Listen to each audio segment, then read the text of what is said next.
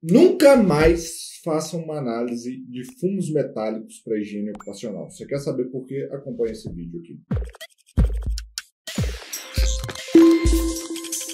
Porque o que eu quero te dizer é nunca mais faça isso. Você está cometendo um erro gravíssimo. Um, um erro muito, mas muito, mas muito grave, que pode estar impactando sua carreira. E talvez é isso que te deixa, às vezes, inseguro, sem saber o que fazer no ambiente de trabalho, sem saber reconhecer o risco, qual o risco está ali presente e como avaliar. E deixa eu te contar por quê. Isso é sim. Os higienistas ocupacionais que dominam os agentes químicos estão cansados, carecas de saber que fumos metálicos não são um risco por si só. Fumos metálicos é uma forma de dispersão dos agentes químicos, ou seja, a forma em que esses agentes químicos se dispersam no ar e geram uma exposição ocupacional e não um risco em si. Então, nunca coloque no seu PGR, no seu laudo de insalubridade, no seu PPP, no seu LTCAT ou o que for escrito exposição ocupacional, fumos metálicos. Fumos metálicos não existe como risco. Essa é a mensagem que eu tenho que te dar. Porque o risco está associado ao metal que está sendo gerado na forma de fumos. Você está me entendendo?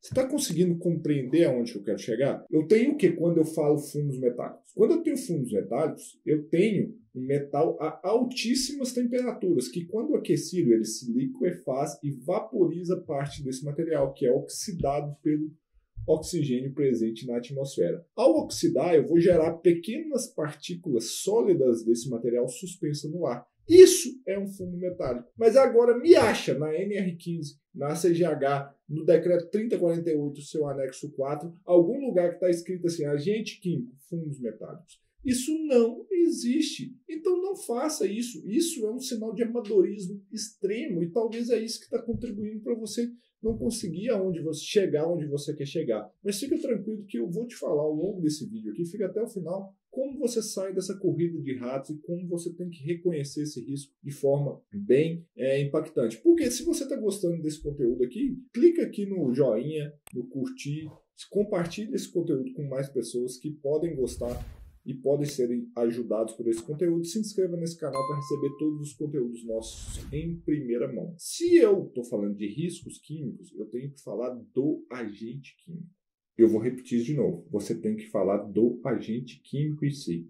Então, eu estou falando de metais a altas temperaturas. Então, quando eu falo de fumos metálicos, eu tenho sempre que pensar: olha, eu tenho um material, um metal que está em altíssimas temperaturas. Então, eu olho para o processo. Então, processos de soldagem são processos que geram os fumos metálicos. Processos de fundição geram fumos metálicos.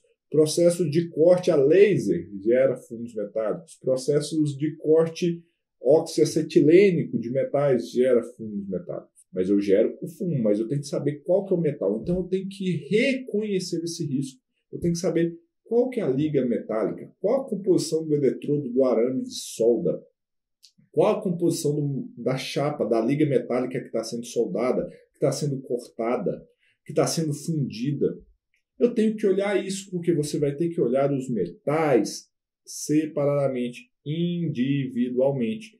Você pode falar, olha, aqui eu tenho fumos metálicos, mas você tem que falar fumos metálicos de tal metal baseado no seu reconhecimento de riscos. Quando eu falo isso dentro do método Galface Agentes Químicos, que é o meu treinamento que te ensina um passo a passo, uma formação completa para você ficar 100% seguro para avaliar qualquer risco químico em um ambiente de trabalho e transformar sua carreira na higiene ocupacional, as pessoas assim explodem a cabeça, porque falam assim, cara, parece coisa de outro mundo. E, consequentemente, eles têm uns resultados fantásticos, como, por exemplo, eles entram no treinamento aprendem o que eu estou fazendo, aplicam e saem ganhando pelo menos 50% a mais do que eles ganhavam quando eles entraram no treinamento. Porque eles têm esse olhar do reconhecimento de riscos. O higienista ocupacional não é esse profissional generalista que sai fazendo medição a tudo e com pé, a gente que aparece na frente para ele, que ele vai lá e coleta um monte de amostrinha. Não, é um profissional que tem segurança de reconhecer,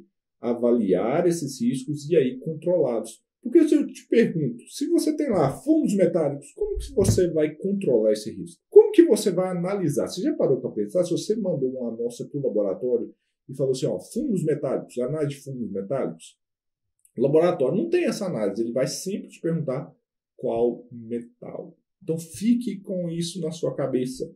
Qual metal? Toda vez que você lembrar de fumos metálicos, qual metal?